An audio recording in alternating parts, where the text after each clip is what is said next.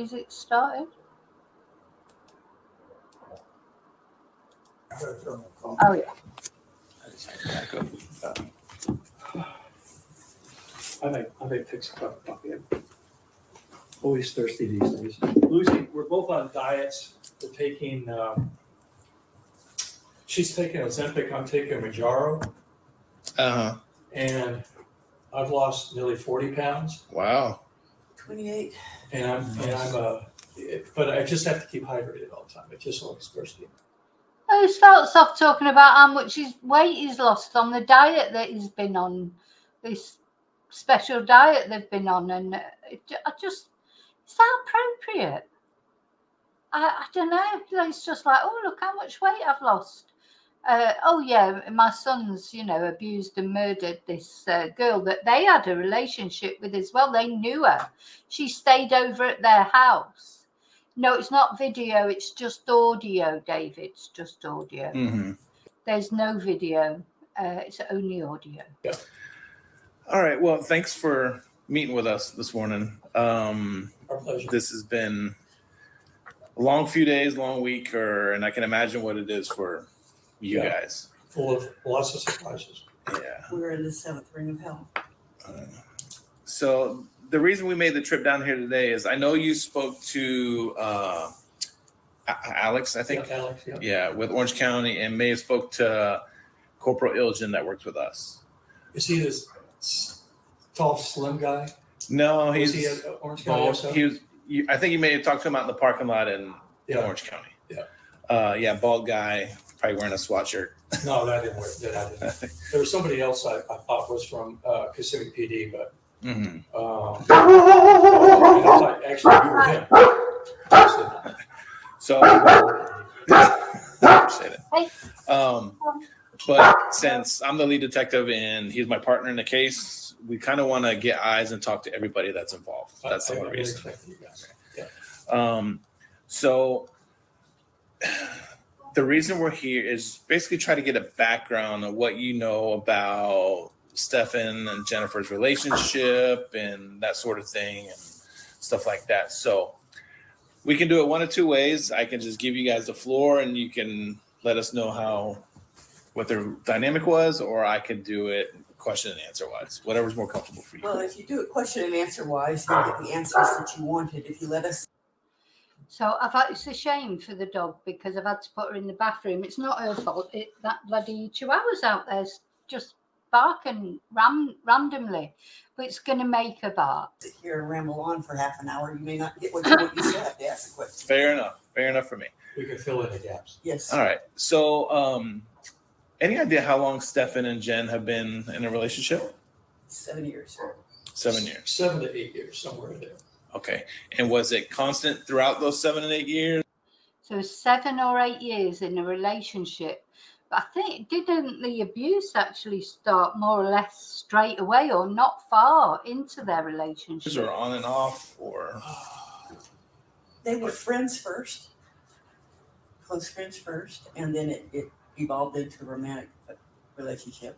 Um, I think probably the first 18 months was just friendship, and then it changed from there. And no, Mhm. we did not like the relationship. why not? Didn't approve of it. Why she was is a that? bad influence on it because of her, uh, of her, uh, Drugs. well, drugs plus, uh, I think she was uh, taking medications for depression, anxiety, what have you, and and I just didn't feel that she was going to be a good influence for me. She's bipolar. She's bisexual. She's a drug addict. She had a young child. She's bipolar, she's bisexual, and she's a drug addict. That's what they that's what the mother thinks. That's what his mother thinks about Jen. Bipolar, bisexual, and a drug addict. The family was disapproving, and she was sharing those drugs with Stephan. And I don't approve of vaping. We don't do any drugs. We don't even drink. Mhm. I can't even take specified medication for pain because my body rejects them, and I I get really really sick from it. So Mhm. I mean, with open heart surgery on Tylenol. Wow.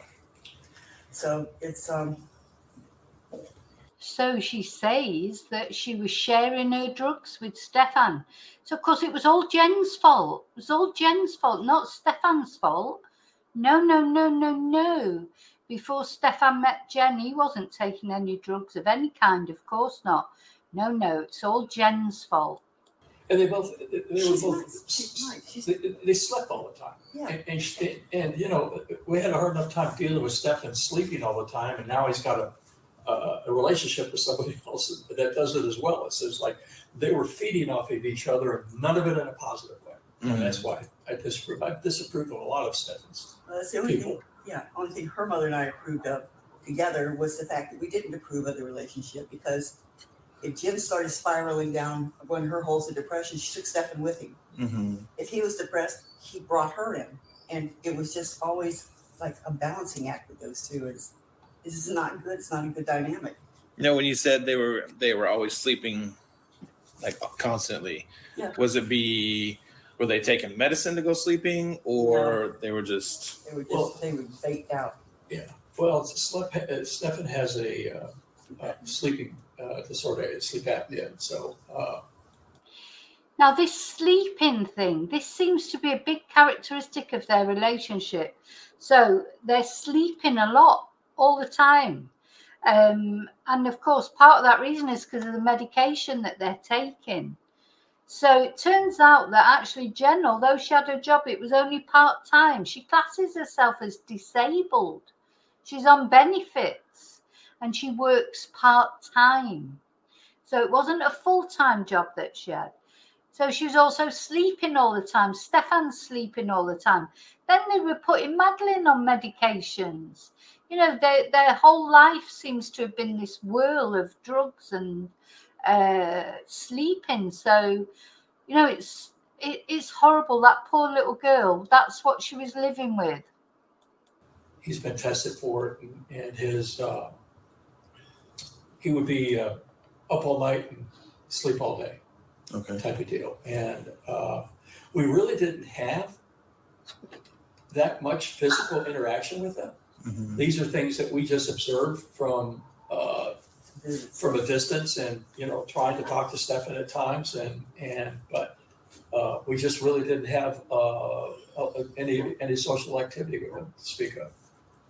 When Stephan would be here in town, like what would his routine be? Would he just is he a homebody or He locked himself in his room, and we would see him uh, maybe you know once in a while, tell him dinner's ready, but he was constantly in his room all the time. Yeah, he's like he's a man baby, isn't he? He's he's nearly forty years old. He's still acting like a teenager. You know, where he's saying when he lived with, you know, when he was staying with them, he'd be in his bedroom all the time, like teenagers do. Um, and they'd call him down for dinner, and that. It's like he never grew up. Is it? Is it? He's like the the boy who never grew up, Stephan Sterns. Like this sort of, and that's probably why I like young girls because he, he can't relate to real women. Only Jen's like a mother to him, and their relationship is just characterized by taking drugs, you know, uh, prescription drugs, sleeping, you know, just being a, a Jen. I honestly think Jen doesn't even know what day it is, and I'm sure sometimes he's probably given her more drugs as well. It'd be easy for him to slip drugs in in either of them's um, drinks, etc. He was painting his little minis for Warhammer. Yeah, He spent a lot of time stuff. doing that. Um, a lot of time learning the new books as they came out. A lot of time online. Yeah, he was painting his Warhammer. My son used to do that, you know, when he was about 11. He was painting his Warhammer. He was staying in his room playing on his games. I feel 21 as well, Jim. But the thing is, though, at least, you know, I don't.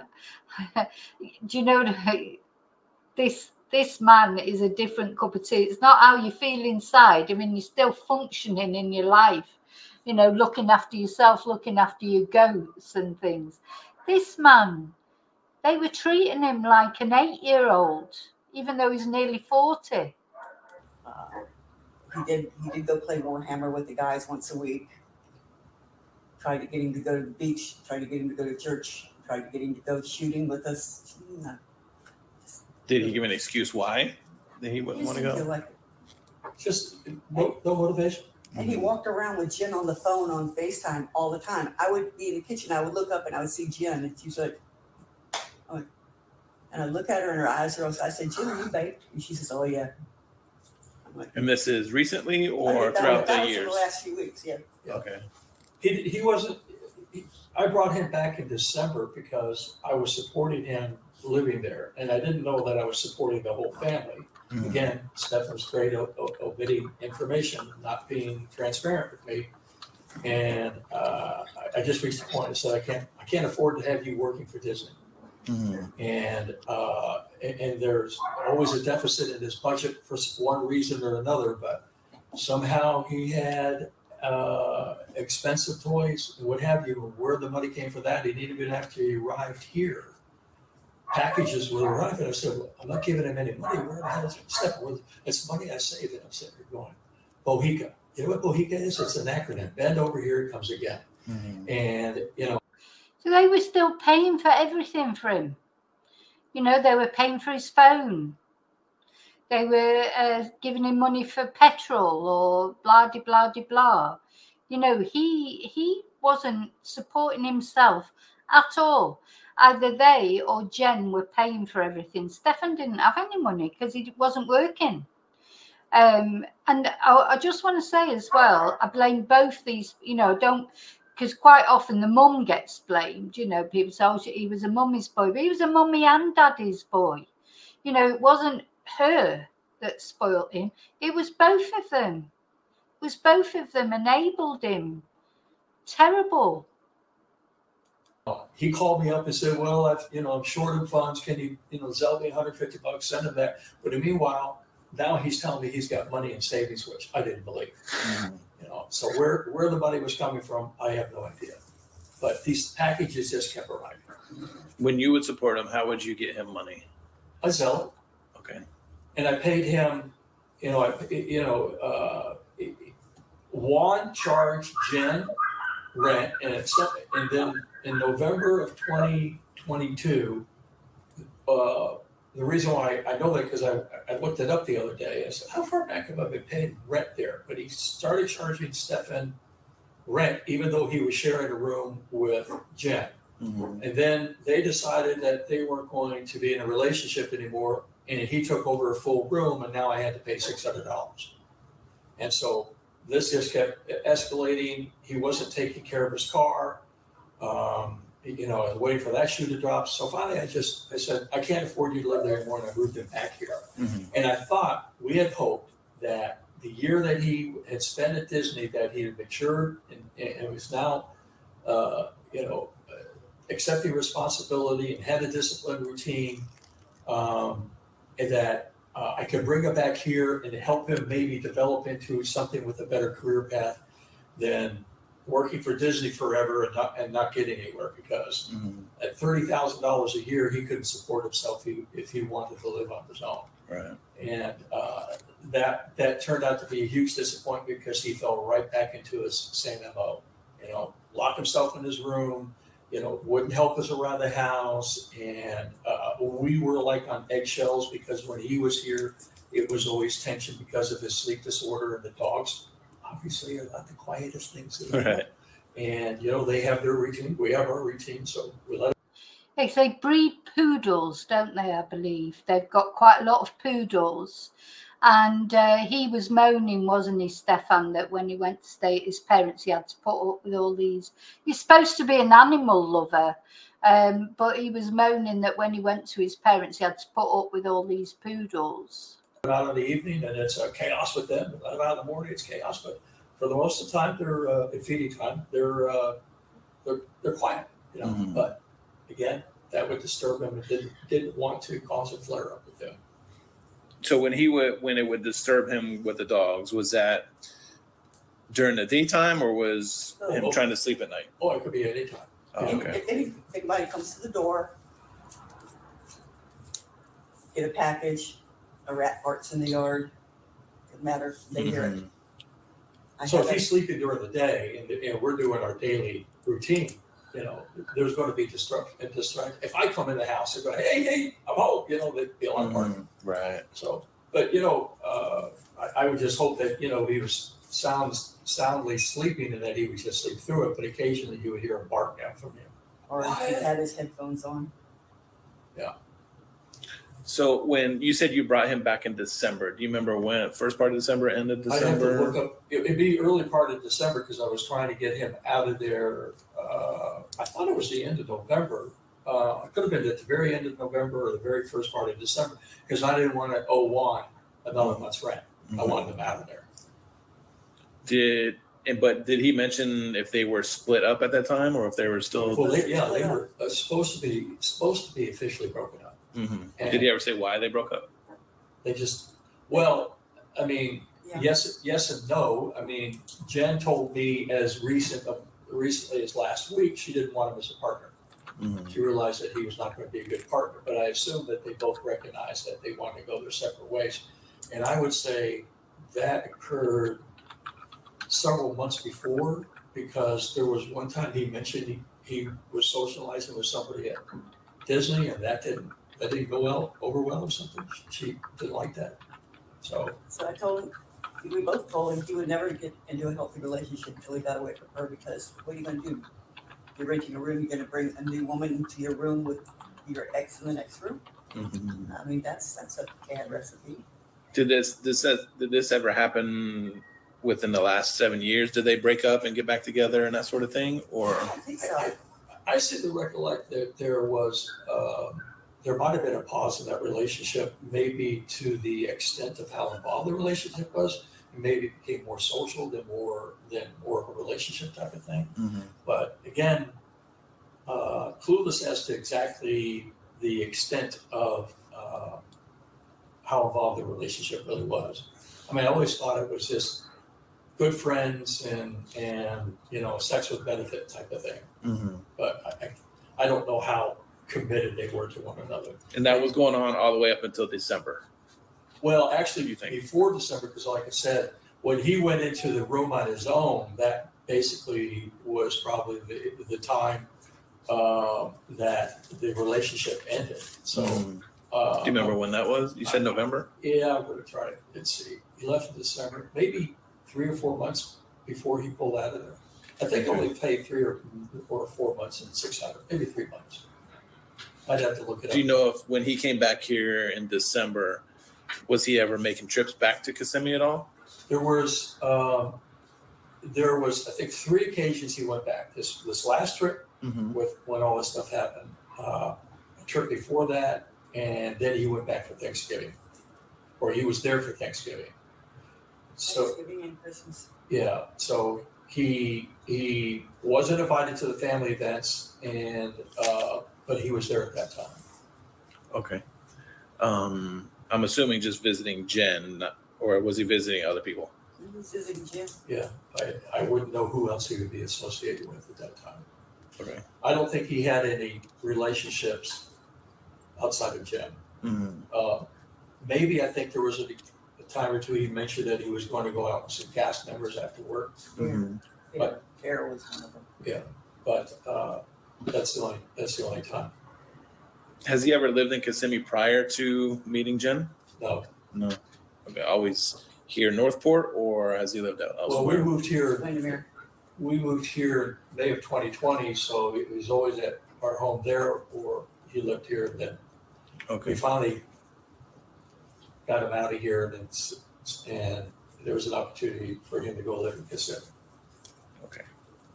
But with Jen is when Yeah. he moved to Yeah, Kissimmee. yeah, not on his own. They were both supposed to be working at Disney together, but she can't keep a job Mm-hmm. Do you know why? because of the bipolar. Well, she doesn't. She doesn't. She want, doesn't want to lose her her state benefits. but depending on the type of work, she had back issues or something. Mm-hmm. so she couldn't do physical things. Now she's she did have a job as a concierge that didn't require any pressure or stress on her back or something. Mm-hmm. But there was always something that prevented her from working. Couldn't do dog sitting, whatever, uh, whatever job it was, it would last no more than two weeks. And then she. be And back she was gonna go to school for nursing. And I'm thinking, oh my God, save the world. Well, then she was going to get into graphic design. Oh, yeah. Mhm. Dad bought her an Apple computer thinking she was going to take these classes or online, and that didn't last long either. And you're hearing this from From her. Stefan? Oh, from both of them. Oh, Yeah, okay. yeah. Uh, So again, they're really down on Jen. You know all the things. Uh, oh, she was going to do this, then she was going to do that, and you know, and they just, they just literally. I mean, the thing is that when they were saying, "Oh, I don't know if it's friends with benefits and this, that, and the other," but you know, they were together seven years, so it must have been quite a serious relationship. But of course, we all know now that Stephan was not there for Jen, was he? He wasn't in that relationship for Jen, he was in that relationship for Madeline, and that's probably why he even started the relationship. It was probably nothing to do with Jen. Jim, I don't know what you mean by a slave. thing that we're basically telling you is a lot of it's hearsay from what we were told. We didn't physically observe this, Mhm. any of this stuff. Very, very little interaction. Uh, and then when they were here, you know, they were either in Stephan's room. Maddie always slept with Debbie, but um, they and Maddie floated around here, played with a dog, did, did things little girls do with Heavy. We did some arts and crafts together, Te- teaching her knitting, crocheting. crocheting. Yeah, So that was going to be my next question. So Jen and Maddie and Stephan come came here to visit Yeah. at some point, or a few times maybe. yeah. But if he was here, living here, she would actually come down. So yeah, they'd met them several occasions. They had a relationship with Madeline. You know, at the end of the day, I suppose if that you'll hear in a minute, he says that Madeline called Stephan dad. So technically, they were grandma and granddad, weren't they, to Madeline? But they're very dismissive of her. Very dismissive of her, even though they had built, you know, they must have had some sort of relationship with her. Okay. And, and but again, very few trips. The last trip we saw them was, and we didn't see. But I think we saw them early 2023, and then maybe for Thanksgiving 2022. Okay. And then when they were here, you're saying Stephan and Jen would sleep in or would hang out in Stephan's room, Mhm. and then Maddie would sleep with you, be with you. Okay. Why? Why is that? Number one, he's a slob. Number Mhm. two, he only has a queen size bed. Okay. And number three, I didn't think it was a healthy environment. Mhm. Like, they were going to have her sleeping on the floor on, on a sleeping bag. And I said, I have a king size bed. I sleep on 36 inches of it. Mhm. There's a whole side of a bed. Mhm. Why can't she be comfortable? So I just insisted that she come in with me. And I had the dogs with me. So if she got up, as she, what Jim used to tell me was, you know, she would wake up in the middle of the night. She'd come and climb in bed with them. Mhm. She said, "Well, I'm going to have the dogs here. If you get out of bed, you're to you're to rouse the dogs up." So, I got you. Did they ever talk about their sleeping arrangements at their house in Kissimmee? just just what I just told you that, Mhm. that if she had a, a bad dream or something, she would come in. And I told her as as Maddie got older, because we've known Maddie for seven years, we watched her grow up. I mean, this, is, this is very this is very hard. But she um sweet girl she was, but then she started in the last year. She started showing signs of bipolar as well and um, Jen was horrified by that. They were butting heads like two rams. They were fighting all the time, and they're they're presenting a very different family dynamic than what they told us was going on. And you witnessed them butting heads, or Um, no, I, I I would be on the phone with Steph, and I would hear them going at each other in the background. But that's you know, and I would say, "What's going on?" Well, Maddie and Jenny are at it again, you know, and I got to go. I got to go break this up. So he would go be the peacekeeper. But I, I just put that down to puberty. She went to puberty. She started puberty at eleven. right? Hormones in the So, what did she say there? She was precocious. She was starting to be precocious. This is where she starts to, in my honestly, when she said that, I just thought she, she's blaming Madeline as, uh, you know, it's. Let's just listen to that again. She is, she's awful, this woman, isn't she? She is awful. Now she may not have murdered Madeline, but the way she's talking about her and like making excuses. It, the thing is, her son abused this girl and murdered her. That's not anybody's fault. It's not even Jen's fault. You know, people can say what they like about Jen shouldn't have sent her up to the bedroom and she shouldn't. But she still still didn't mean that Stephan had to do that. Stephan takes the responsibility for his own actions.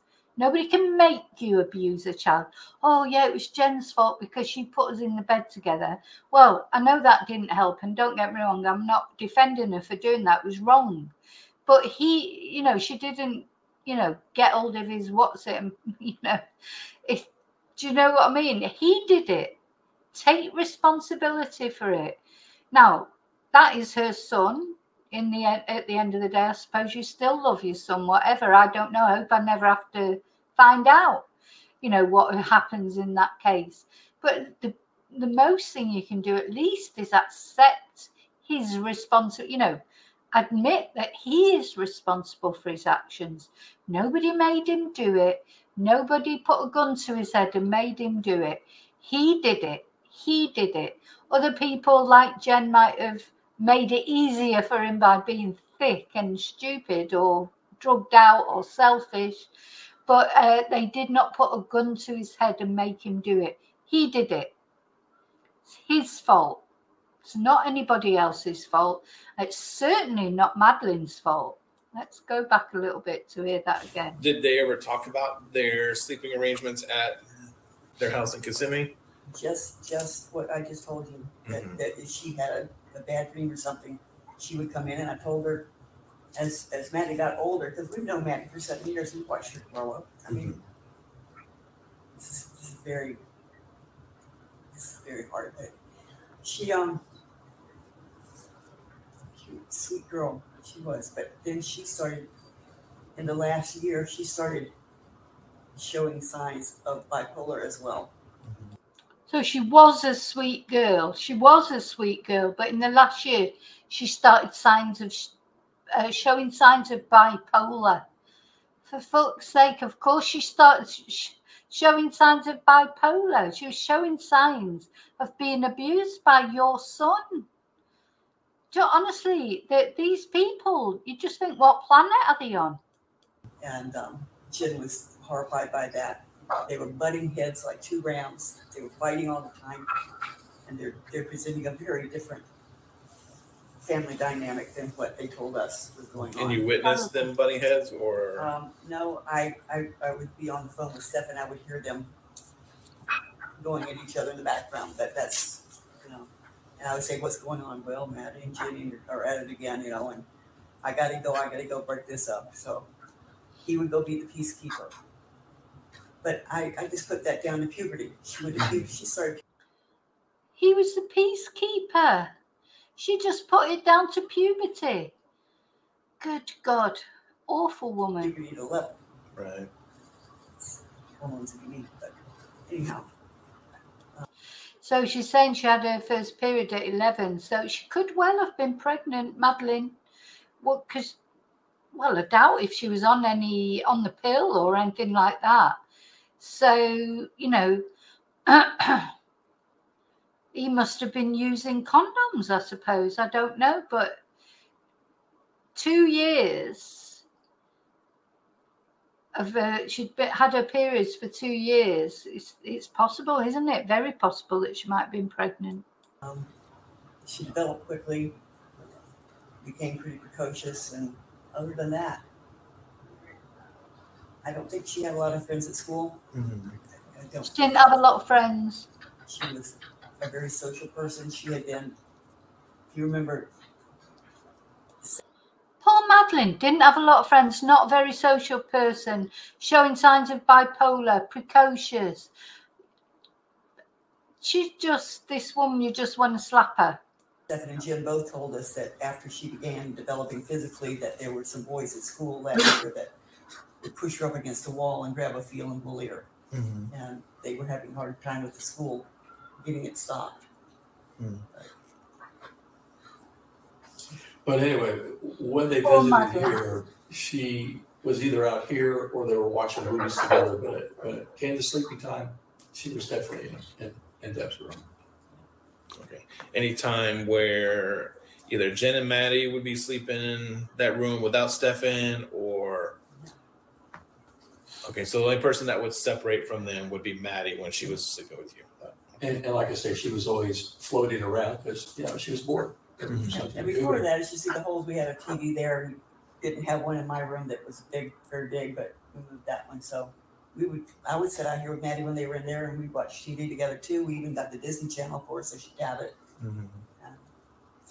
Do you know if Maddie or Jen, when they were hang- sleeping here, were they taking? Did they take medicine at night or anything like that that you know? of? No, they, Or did Stephan take any? Was his has he been prescribed any medication? he has been prescribed an anti-anxiety medication and a um, ADHD medication.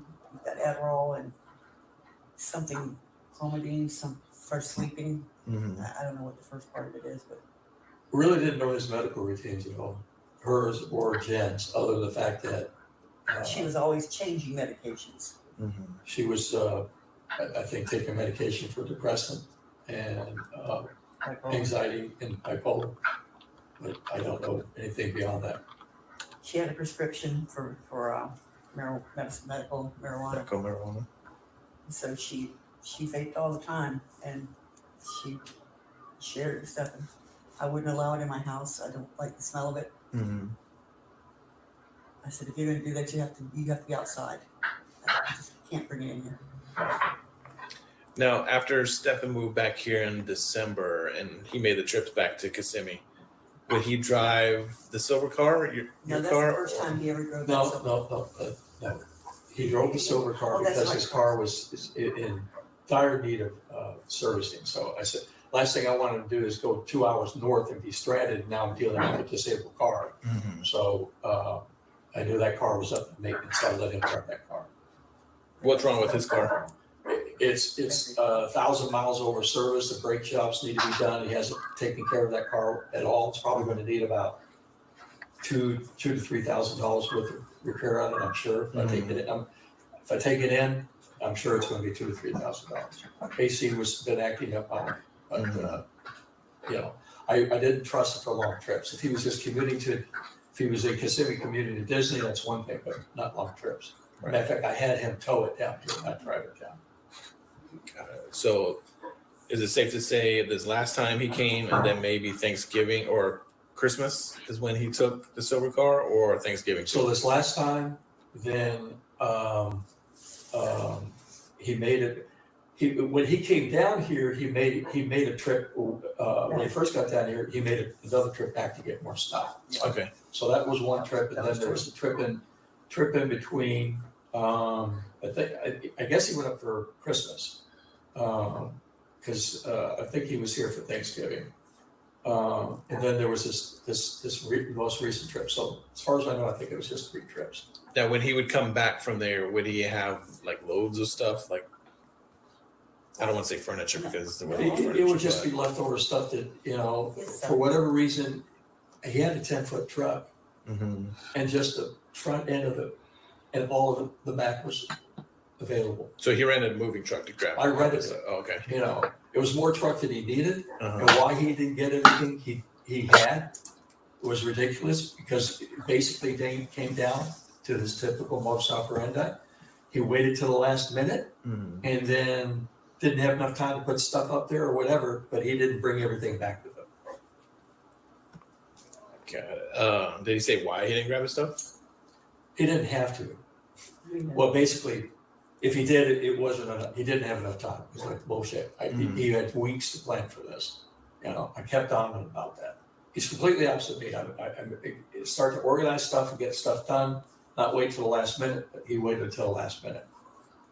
Very frustrating. How long was he in Kissimmee when he made these trips? Well, he stayed up there. If he went up there, he went up. He went up there for the day. Maybe, maybe he stayed up there a day or two. Usually, usually. You know, Two nights, no, three no days. rush to get back. No urgency to come back.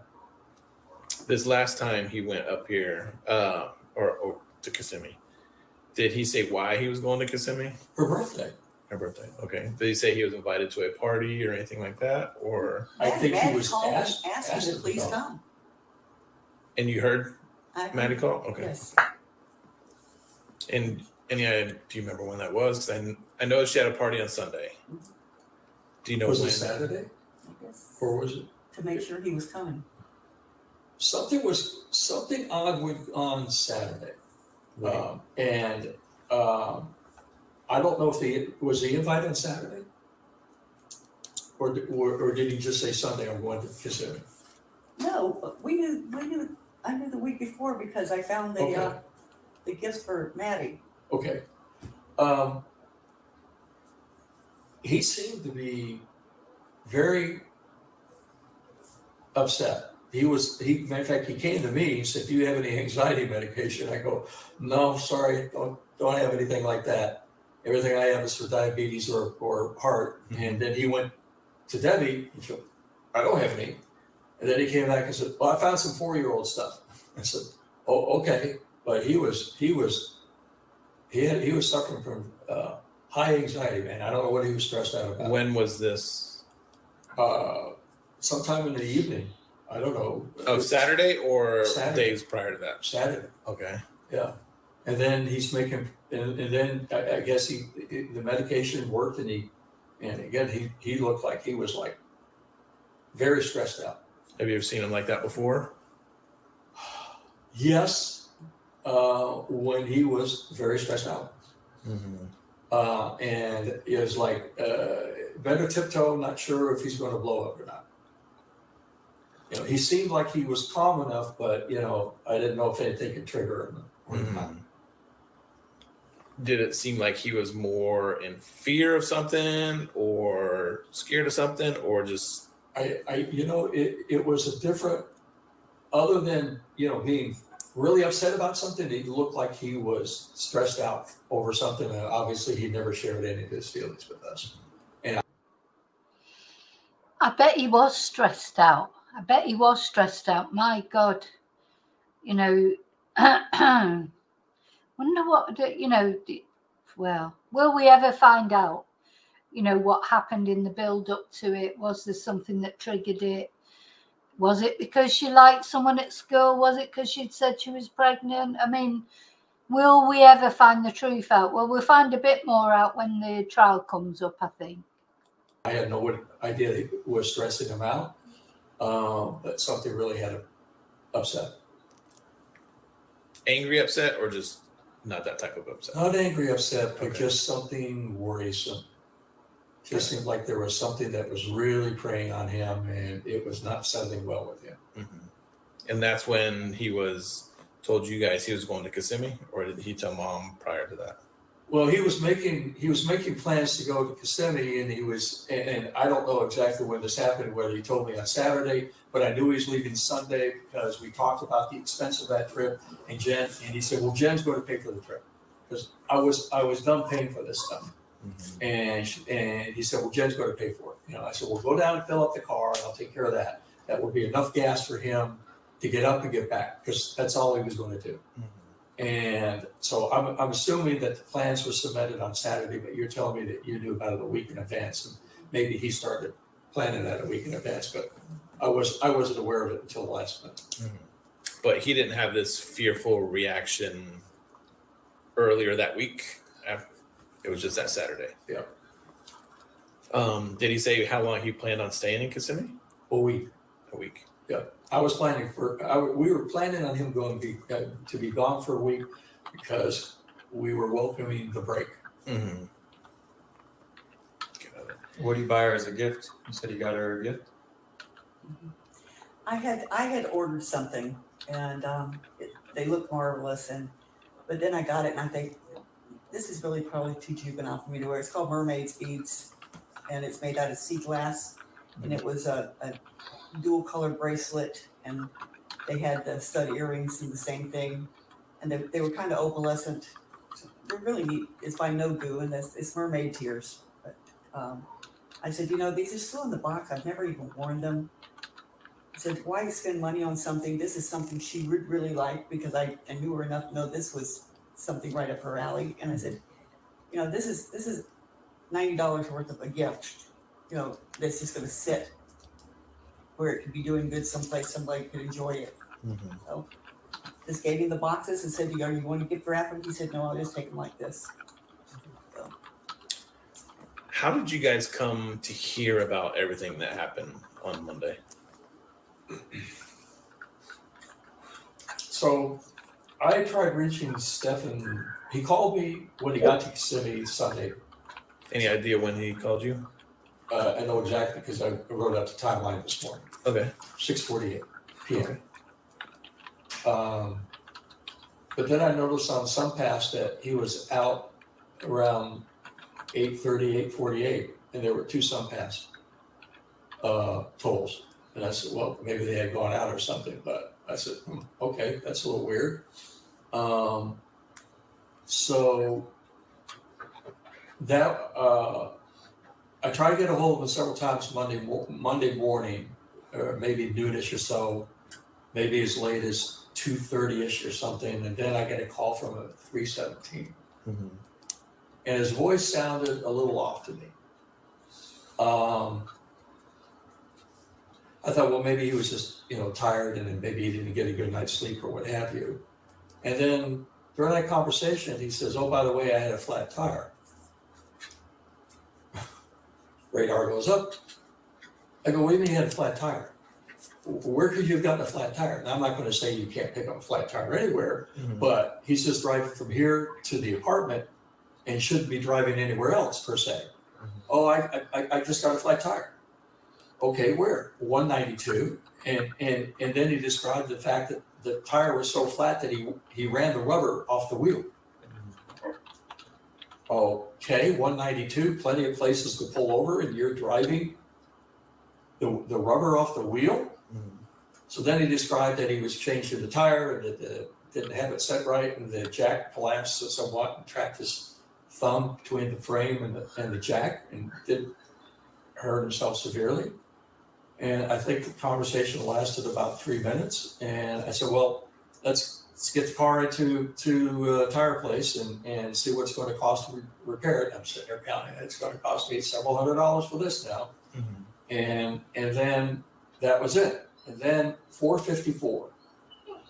Um, I'm just getting out of the car, meeting a customer, when I'm going to take him into a house and he calls. And he says, uh, I'm in, I'm en route to Maddie's grandmother. There's been an occurrence. I said, well, that's a strange word to use, but okay. Um, and then I'm thinking, well, this is weird. Two events in one afternoon, the flat tire and now this.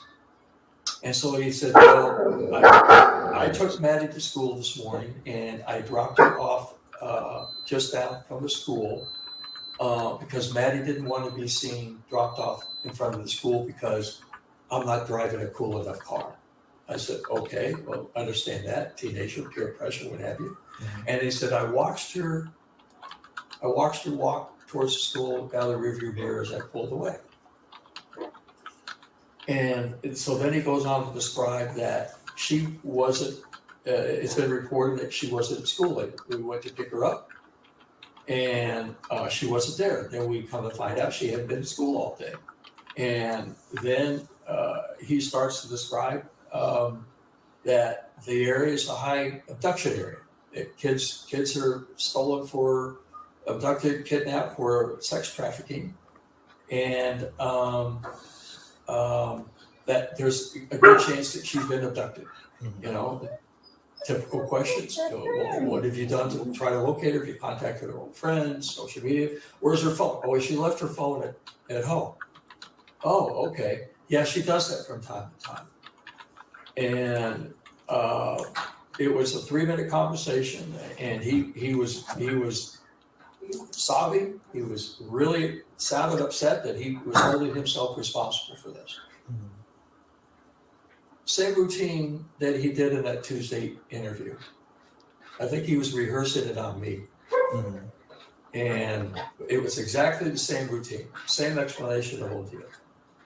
And so then I kept in touch with them throughout the evening because they were waiting for police to show up and and it was hours and, and I just kept checking in, any news, any news. And then um, and then that was it. So until Tuesday.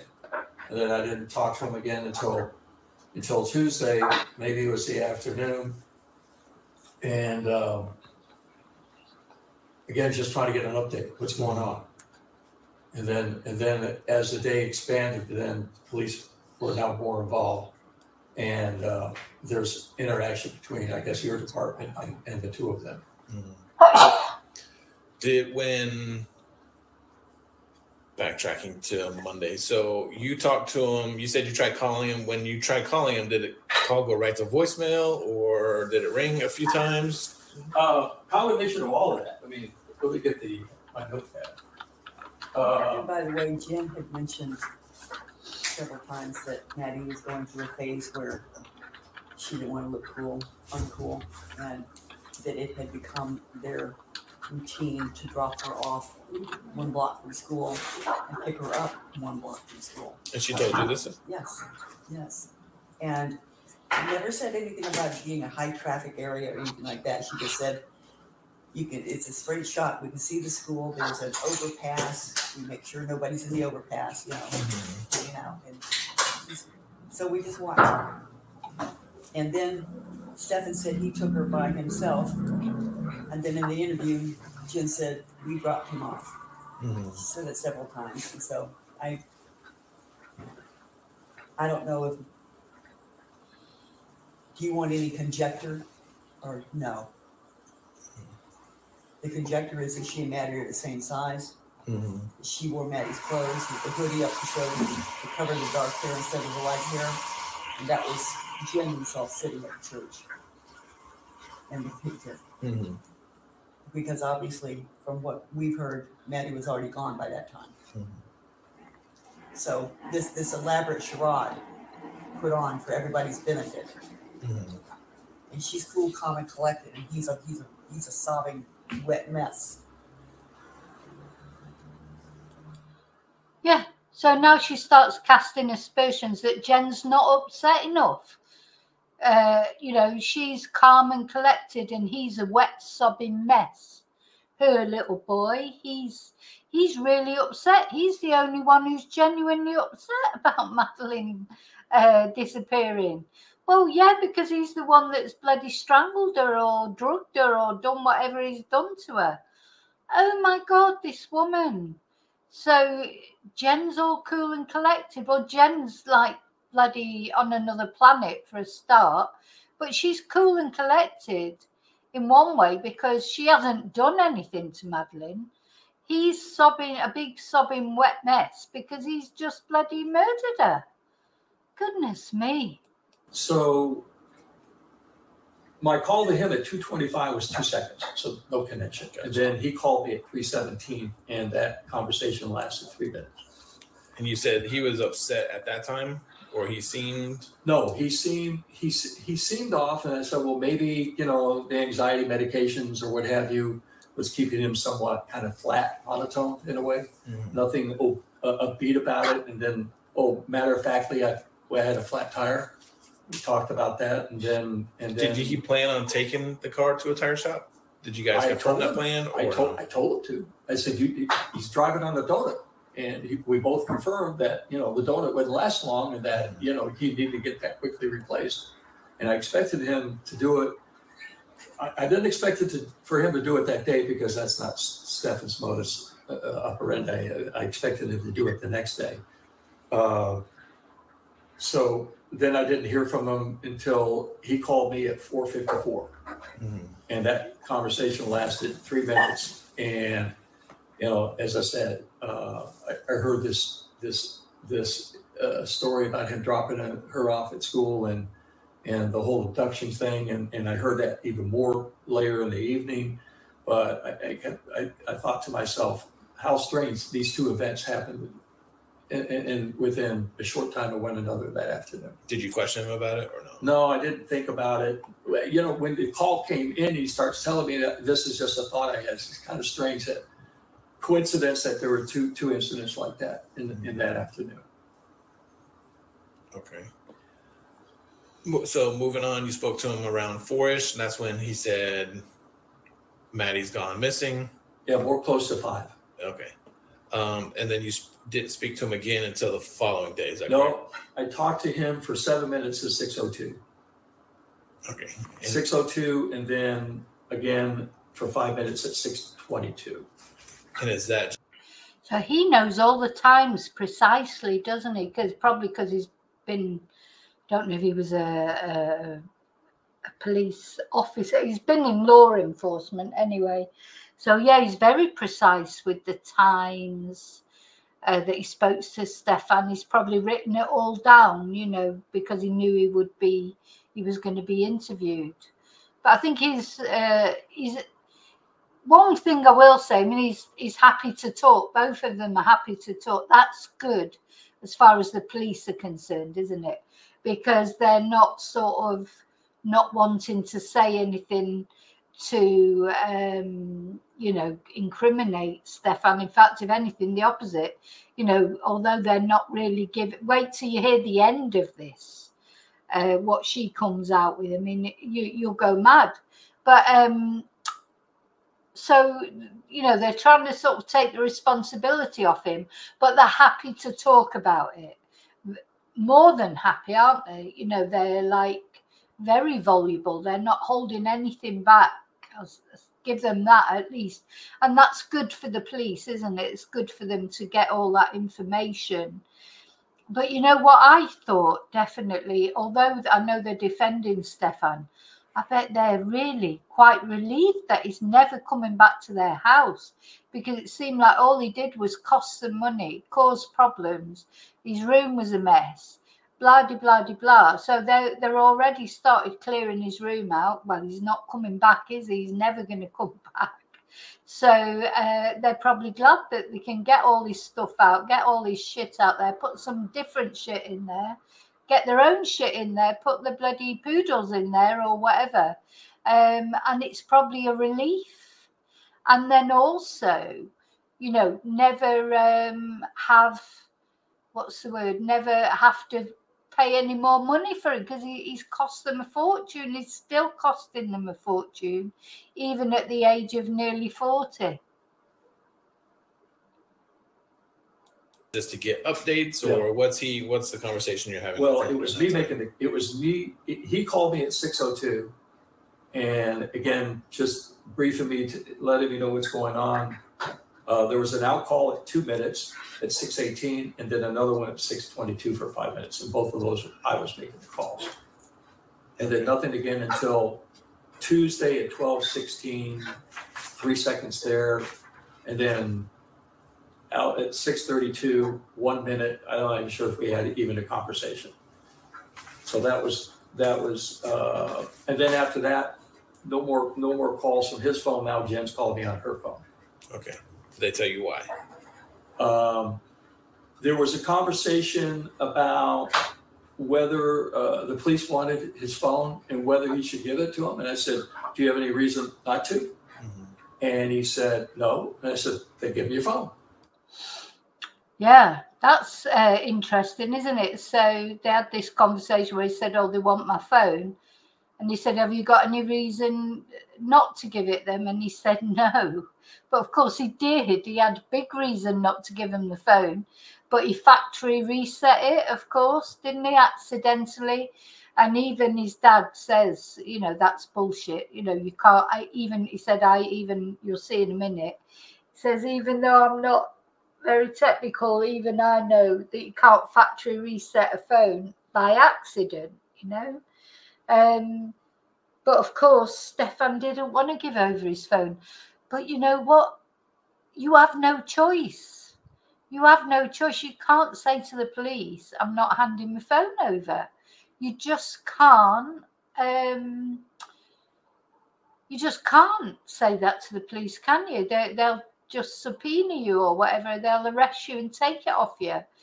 So Stephan, really, if he was a bit more a bit more clever, I don't know if he just didn't want to let go of his phone because he could have burnt it, thrown it in a river. He, there's a lot buried it somewhere. There's a lot of things he could have done with it, uh, but he kept hold of it, didn't he? He didn't want to give it away. He could have said he lost it and and you know disposed of it, but he didn't want to do that.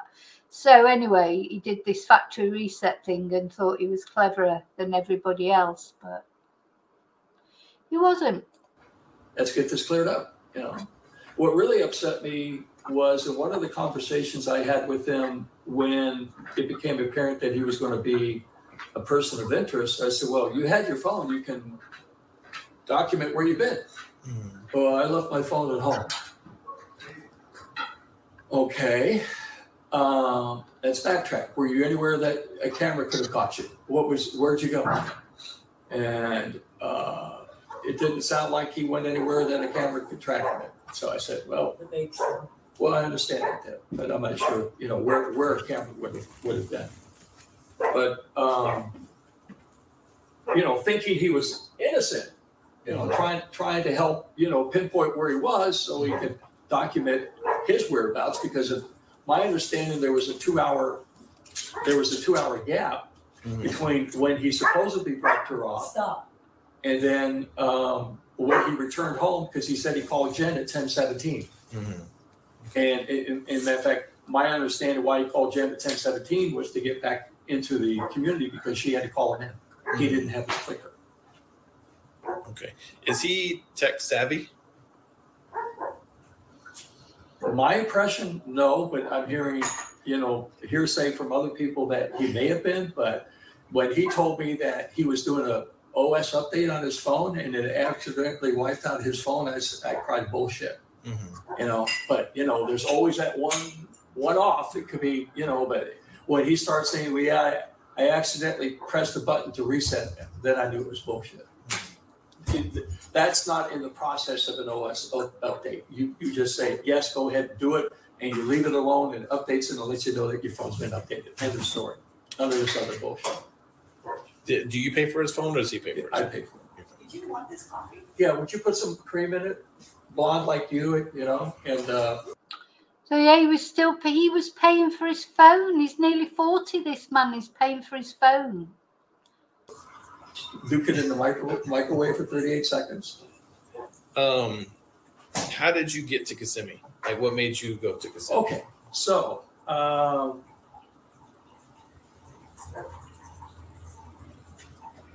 I got a call.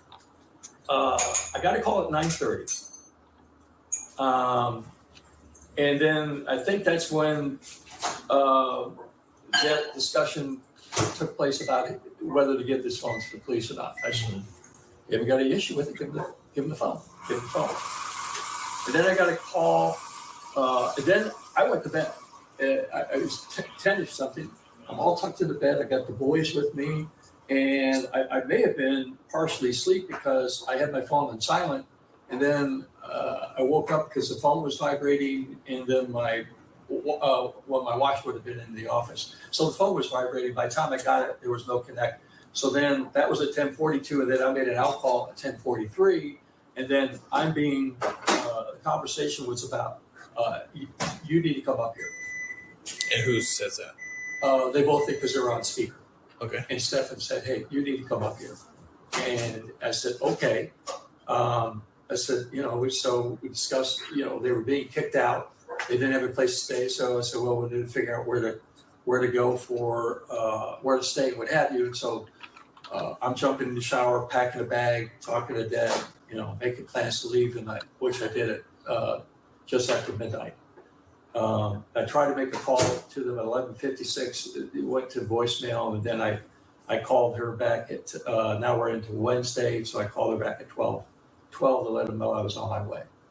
And, uh, then I also called my wife, because when I left, the front door, if you notice, has an electronic keypad on it. Thank- Mhm. That's why I think it's No, okay. Thank you. um, it wasn't working. And it's been, uh, it's electronic and it's batteries in there since the day we moved here, so four years old. So mm-hmm. when I mm-hmm. tried to lock it, it's not flashing or anything.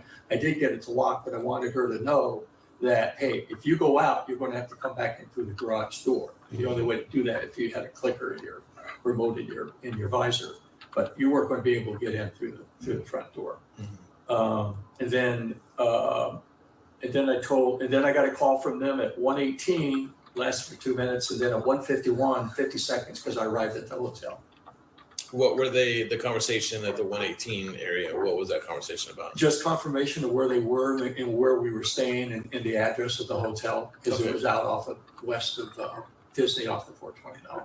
And from what I understand, did you pay for the hotel or did they pay for it? They paid for theirs, uh, and I paid for mine, but then it said a prep pet friendly hotel, or pet friendly if you pay hundred and fifty dollars for the night. Mhm. Okay, so, all right, so I, I paid for the, for the dog to stay. Okay, their dog. Yeah. Okay. Well, I So he paid for the dog. He's paid. Um, Stephan was lucky, wasn't he? Really, he was so lucky that he had parents paying for him. You know, uh, I, I think Stephan. I don't think he's going to do that badly in prison because he's used to not doing anything for. I mean, apart from the fact he won't be able to abuse children anymore, which uh, I expect he'll miss. Um, but you know, he's used to people doing things for him, isn't he? He's not an independent person. So he's in prison and he'll get fed three times a day. I mean, he was whinging about the pillow, wasn't he, in the cell? He probably will have a more comfortable bed now than he did then. Um, you know, will he get the death penalty? This is uh, Florida, isn't he? He might get the death penalty, mightn't he? Yeah, he might. Yeah. Anyway, I don't know. If This man has had everything handed him on a plate since the day he was born. And what has he done with it? Instead of turning that round, you know, uh, thinking that he's a lucky person because he's had all this support, he's, he's just turned into a twonk. actually reimbursed her. Mhm. All right. And when you got to the hotel, you had conversations with Jen and Stephan. I'm assuming? Yeah, we were just greeting, you know, gave, gave Stephan a hug and, uh, you know, chit chatted for a few minutes. I was busy checking in because they had already completed their check in. Um, they went up to their room. They were on the opposite end of me, but we were on the same floor. I went out to the car, know, park my car, get my stuff and bring it in and go to my room. Then I went to their room, spent about 10 minutes with them, no more than 15. And then uh, I was heading back to my room to go to bed. What were the conversations when you were in their room? I don't really recall. It was just, uh, yeah, everybody settled in, everybody okay. You know, we'll just meet in the morning and, and uh, you know, see see what unfolds at that time. I'm sure there was going to be some more interviews or what have you. I plan to go to the office. Our corporate office is in in uh, in Orlando, so I I plan to go. Mhm. Uh, so I was up uh, six thirty, seven or so. Six thirty. Then I left the hotel around seven thirty to go to the office. Okay. When you left to go to the office, was Steven and Jen still there? As far as I know, I don't know. I come to find out later when I got a phone call from Jen uh, around 10 o'clock, 9:48 or so, I think it was. Um, uh, 9:49. She called me. It lasted for about a minute to tell me, ask me if Stephan was with me. Mhm. I go, no. Well, he's not here. How long has he been gone? Maybe 25 minutes. Um, I said, okay, well, all right, maybe he's up running around, whatever. Um, so then I get a call from her about uh, at 1017. Uh, don't recall what that conversation was about. Then I, uh, there was another call, 1047, and I think, uh, it, it, it, matter of fact, I try to recall what, what time we talked about his not being there, and then I called back and said, uh, well, I, I told her, said, go down to the lobby. If he was gone for 25 minutes, go down to the lobby. Maybe he's down there. Mhm. Seemed logical. Uh, then after I hung up, I go, I called her back and said, are your car keys there? And she said, no. I said, okay, interesting. So then I get a call back from her later and say that the detective had called and said they were going to come over within the hour uh, to, to visit with them. And I said, okay, I'm on my way. So I left the office and, and drove over there and thinking, well, he's going to be in a world of hurt if he's not there when they come back uh, because they'll probably put a bolo out on him and then just decide to arrest him because he's wandering around. You know, what's he doing? Mhm. So, When you got back, was he there? no, he didn't show up for another 15 or 20 minutes. And then I, uh, do you know if Jen's car has a GPS in it? Nav system? It does, yes. Okay, well, that's part of his lie. So, uh, you know, he came back in and said, well, I got lost in the back roads of Disney, no GPS and what have you. And uh, I didn't think about this till later. I thought, wait a minute, Jen, Jen's got a newer car. Most of them have a GPS system in it. So because he didn't have a phone, obviously he didn't have hers, um, he was trying to wind his way back to the hotel, uh, but couldn't because he didn't have a GPS when in fact he did have a GPS. Now there was talks of that he may have came here that morning. Well, so uh, when I finally got in to see Alex Wednesday evening, um, he said, uh, "What exit do you get off at when you uh, come come back to Northport?" Tested my exit numbers, and I said, uh, "I think it's 179, Toledo Blade." And he said, "Did you know that Stephan was in Northport at 7:45 that morning?" I said, really? No, I didn't. Then I later learned it was really 6:30 ish which meant that, uh, and I had my timeline all screwed up. I thought I went to departed their room at three thirty when in fact it was more like two thirty. So I was thinking, gosh, I just went to bed and then he turned around and got out of there and went down to down to Northport. But when I learned about that, um, I couldn't imagine why. And, and then Alex is telling me, well, we we have information that he went to your storage unit. So that led us down a rat hole, and then I found out that was completely wrong. That access storage uh, uh, facility had been accessed for two weeks, and that was me going to put the lock back on that I had incorrectly relocked my unit two weeks ago, now almost three weeks ago.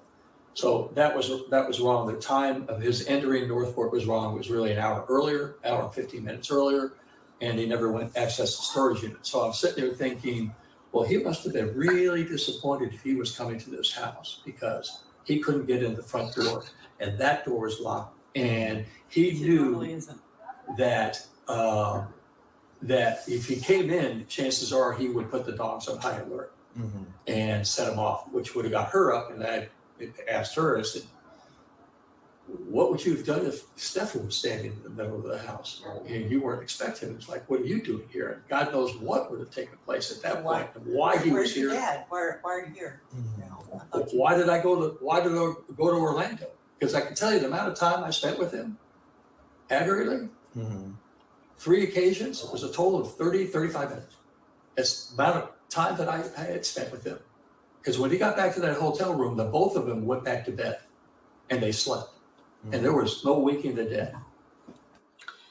So this is what I mean. They're just sleeping all the time. It's all about sedatives, you know, with them. I, that morning when Jen was sort of saying, you know, oh, she thought she saw Madeleine getting ready or heard her getting ready. She, she just didn't have a clue. She was, you know,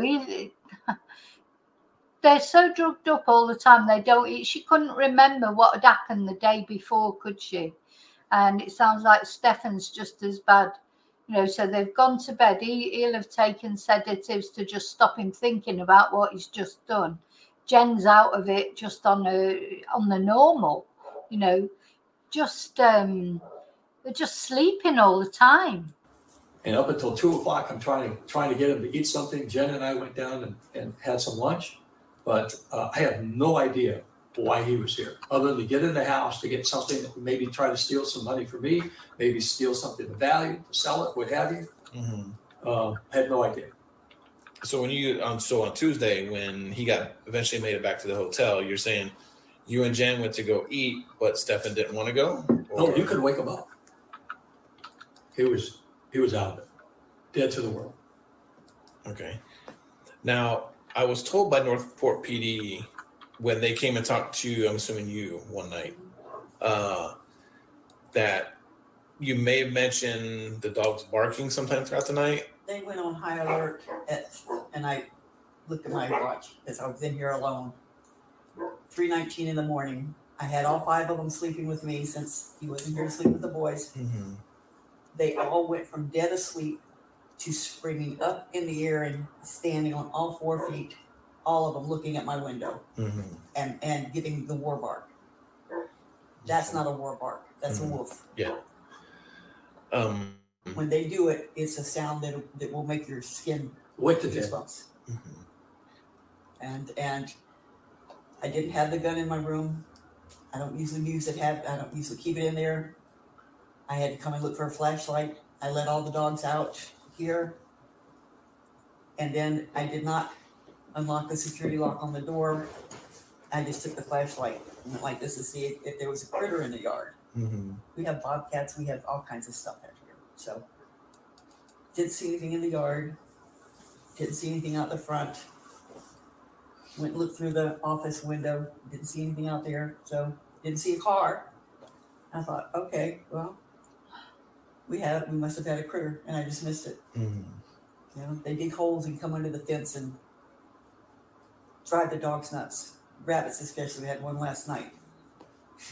And you're saying that your code to the storage facility was not used on that Tuesday? No, the, the storage unit, they, Northport Police told me was, uh, they misread it, but they said the last access, because I didn't, I didn't think Stephan had my access code unless when we were there in December, he decided to memorize it.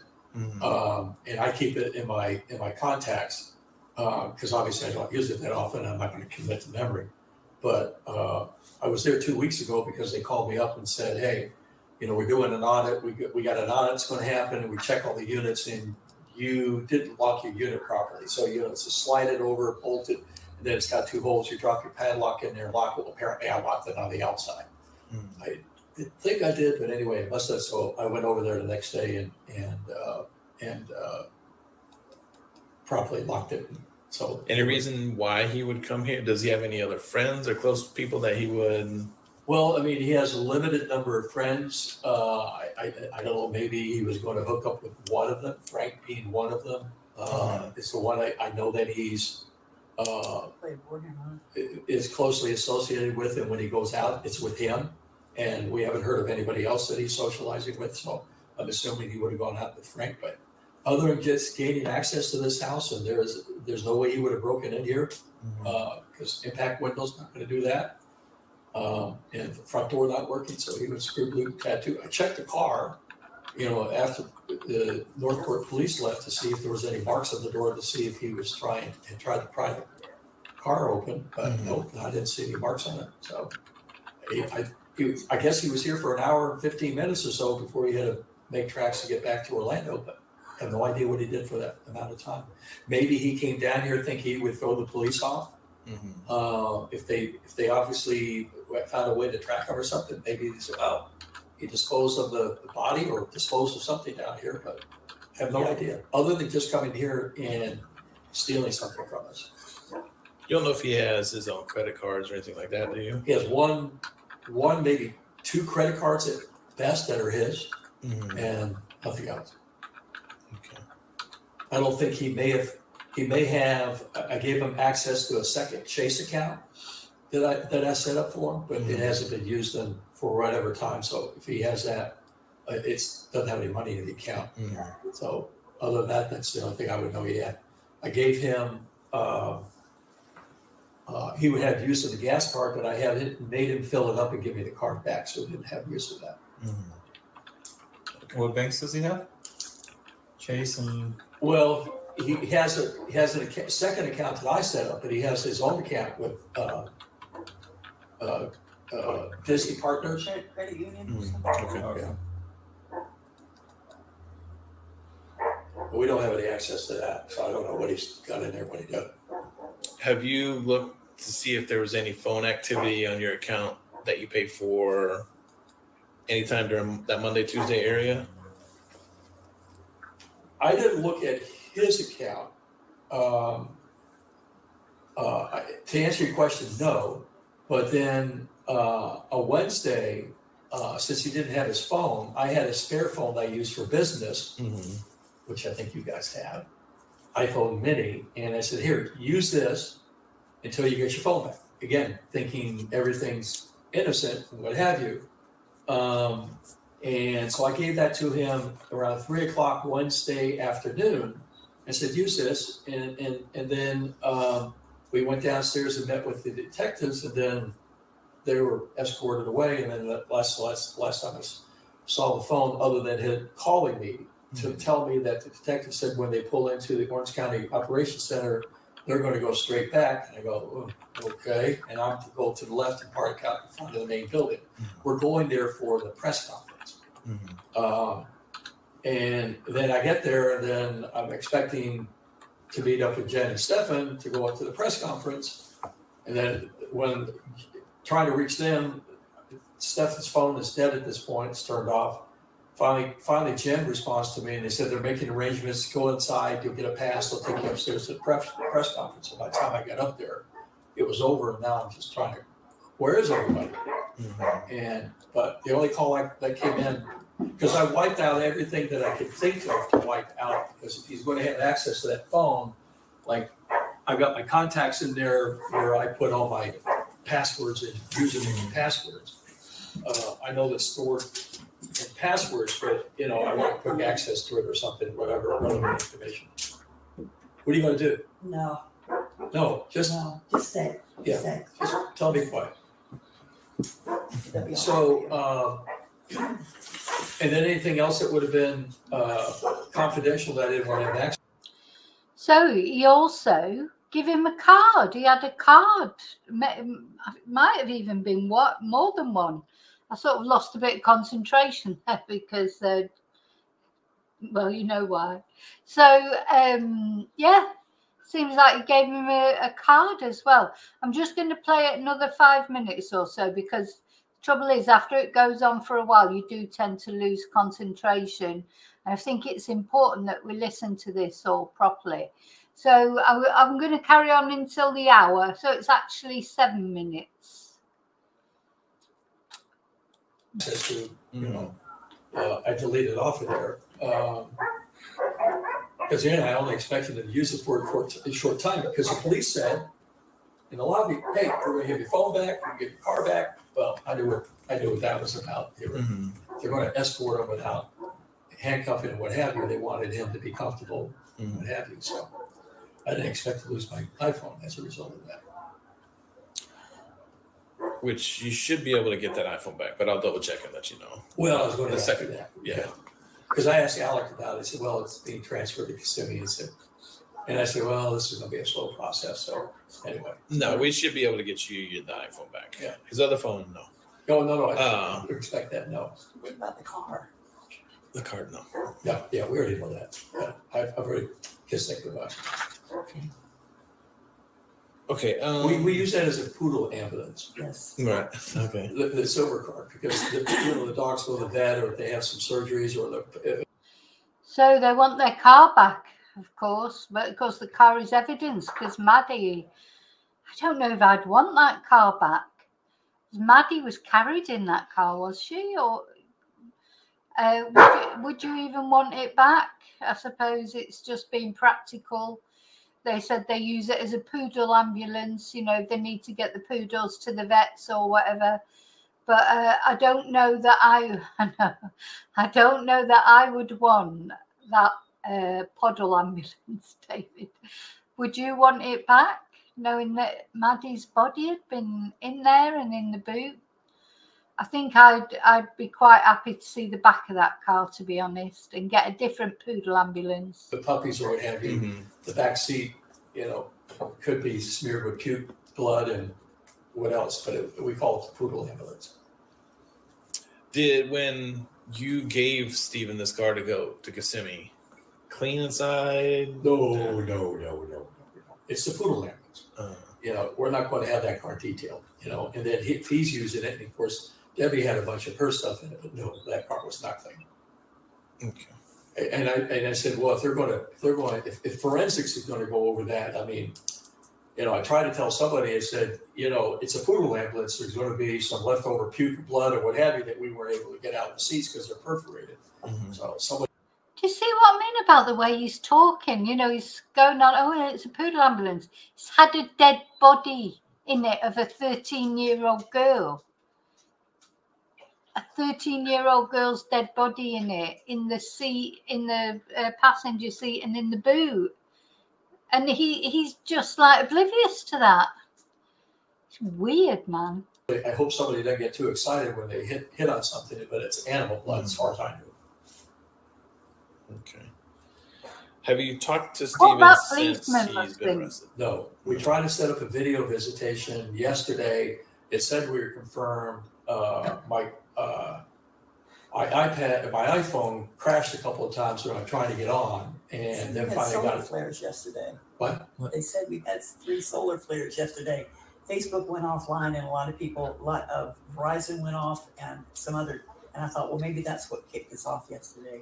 But when I finally got on it, uh, he wasn't there. So you know, I I, I, I kind of expected that could have happened because again, uh, you know, they gave me a warning. They said, you know, if he's not available, he's not going to be available and won't, won't be there. But Mhm. I figured since I had confirmation, I haven't had any conversation whatsoever. Have you talked with Jen since he's been The last conversation, Right, I'm going to stop there because he's going on to talk about the last time he spoke to Jen and a few. I tell you, I mean, the, you know, it's a it's a long interview. Um, we've listened to an hour, and there's still um, not quite an hour left, but about forty-five minutes left. And um, you know, they say even more ridiculous things as time goes on. I just can't believe that he's so obsessed uh, about so obsessed. Uh, uh, uh, uh, you having a bath? You come to have a bath? It's all right. I've nearly finished now. She's like probably like, oh, come and come and play, come and play with me. Spend some time with me. Get off the video. Um, yeah.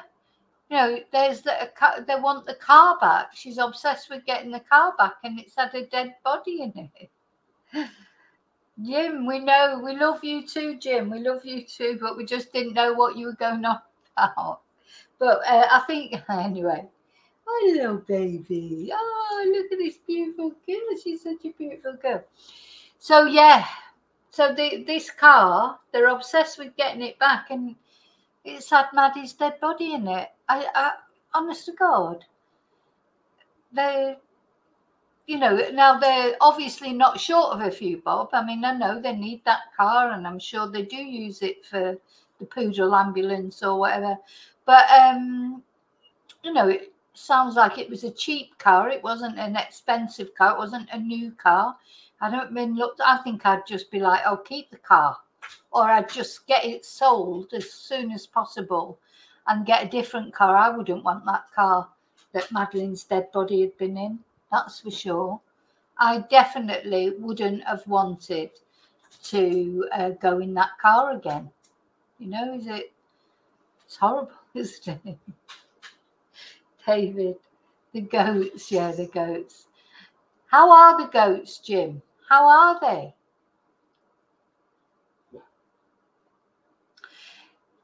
So, um, so that's it. So I'm going to draw it to a close there, just because uh, you know, I'm getting tired now, and I think it's important to concentrate on what they're saying. Now, the part two I'll probably do tomorrow in a, just a normal live. I'm going to edit this live, uh, edit out all the uh, this my singing in the Oasis bits and what have you, and just put this out as a normal video for people to watch. Um, but yeah, and I've still got to go. I've got, oh gosh, I've still got to you know, go through the Micah Miller affidavit and also now all this stuff that the police have sent me, loads of it, and decide what I'm going to do with these photos. I, I, as I said, I don't think I'm going to show the photos. Maybe on on this members next week or something. Uh, but they're they're sort of distressing. I mean, they're not photos. They're not photos with their drawings and things that scribblings by Madeleine. They're very very sad very sad. Okay, so and after all, you're my wonder wall. So I'm going to go and listen to some Oasis music to make me feel good, and uh, I'll see you tomorrow. So sleep well and take care of yourselves, and um, until I see you again. Yeah, you've got your. oh. Yeah, your donkey. Did you send me a picture of the donkey? I can't remember. You sent me a picture. But anyway, so thank you for watching. Not only yous that are here with me, but replay crew and anyone who might be watching who doesn't join in the chat, in the mad chat. It's been a bit of a mad chat tonight. I'll see you really soon in the next video. And until then, as always, may your God go with you. Now, Poor Madeleine. I'm not gonna. I was gonna put a picture of Madeleine on, but I'm not. I wait till I, I. I need to do a little tribute video to Madeleine that I can put on the end of any video that I do about her. If I get a chance tomorrow, I might uh, do that.